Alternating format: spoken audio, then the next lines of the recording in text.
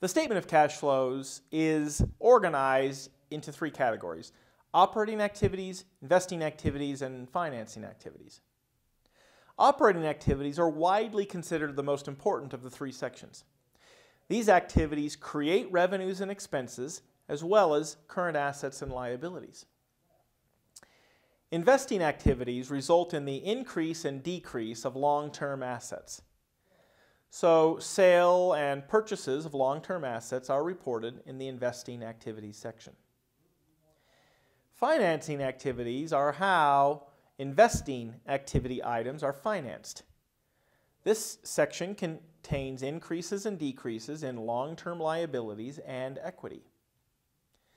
The statement of cash flows can be reported two different ways, the indirect method and the direct method. However, the only difference between the two methods is how the operating activities section is presented. Investing and financing activities are always reported the same way. Here you can see the indirect method. The operating activities section is reported with the indirect method, but investing and financing are completed with the direct method. This is an example of the direct method. Here you can see that operating activities are reported using the direct method, as well as investing and financing uh, are also completed with the direct method. The reason that there are two methods is because the FASB prefers the direct method, but industry, as you can see from the graph on the slide, prefers the indirect method.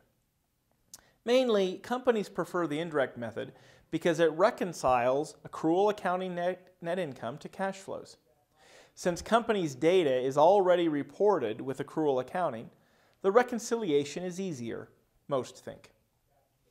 Finally, here is an example of the statement of cash flows. Whether a company chooses the indirect method or the direct method, the result is the, uh, that the financial statements are exactly the same.